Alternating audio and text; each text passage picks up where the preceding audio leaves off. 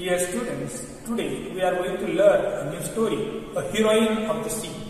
विद्यार्थी मित्रांनो आज आपण सागराची नायिका ही गोष्ट अभ्यासणार आहोत Grace Darling lived in a lighthouse with her father and mother Grace Darling ही आपल्या आई आणि वडिलांसोबत दीपस्तंभामध्ये राहत होती she was taught by her father तिला तिच्या वडिलांनी शिकवलं he taught her to read and write त्यांनी तिला लिहायला आणि वाचायला शिकवलं he also taught her to be honest brave and unselfish त्यांनी तिला प्रामाणिक शूर आणि निस्वार्थीपणाचे धडे दिले Grace was used to frequent storms in the sea ग्रेसला समुद्रामध्ये येणाऱ्या वादळाची सवय झालेली होती she was warm and safe in the lighthouse but she always was unhappy about the four sailors who were at the sea in the storm ती दीपस्तंभामध्ये सुरक्षित होती परंतु तिला नेहमी काळजी वाटत होती त्या गरीब बिचाऱ्या खलाशांची की जे नेहमी वादळ येत असताना अडकायचे. शी वॉज अनसेल्फिश ती निस्वार्थी होती अँड थॉट ऑफ अदर्स आणि तिला इतरांची काळजी वाटत होती. She had a helping nature तिचा मदत करणारा स्वभाव होता.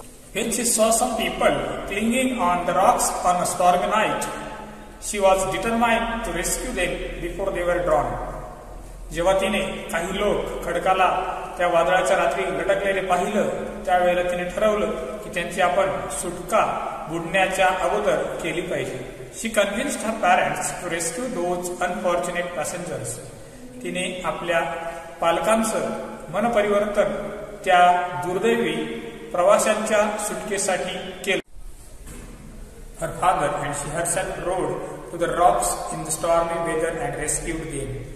तिचे वडील आणि ती स्वतः नाव त्या वादळात जा- जाऊन तिने त्या प्रवाशांची सुटका केली the boat went up and down over the waves but it did not deter her for her rescue work ती नाव वर खाली होत होती परंतु तिला त्या ना लाटांनी नाव उभे न करता तिने आपलं लोकांना वाचवण्याचं काम केलंच.